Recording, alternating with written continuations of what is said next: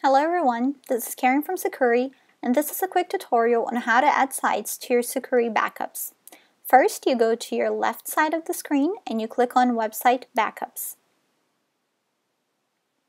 Then you just have to fill out all the information they need. First is the website's name. I already have all my information here, which is johnhackedsite.com. You can choose the backup frequency, which is daily, every two days, every week, every month. You just check whichever one you want. I want daily.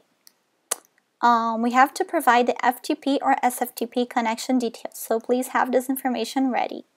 Connection type in my case is FTP. My username is this one that I already have saved. The password is here. and you just click on add new site.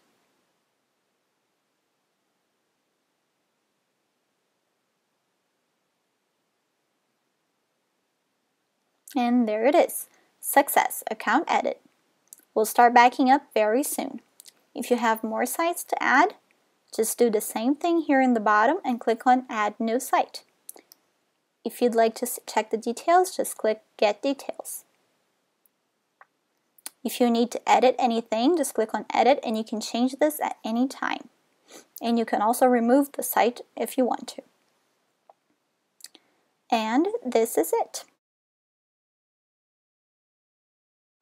So, about two hours have passed and we're back here to show you what your Sucuri backups should look like. Click on Website Backups on your left side.